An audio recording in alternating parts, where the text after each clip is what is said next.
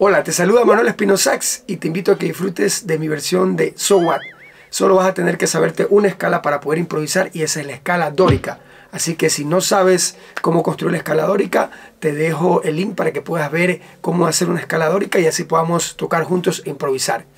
A disfrutar de So What. Está la partitura para saxofón alto y saxofón tenor. Escoge el instrumento que tú vayas a tocar. Tocaré yo parte de la melodía. Te daré tiempo para que tú también la toques. Improvisaré yo, improvisarás tú y al final tocaremos juntos la melodía. Así que a practicar.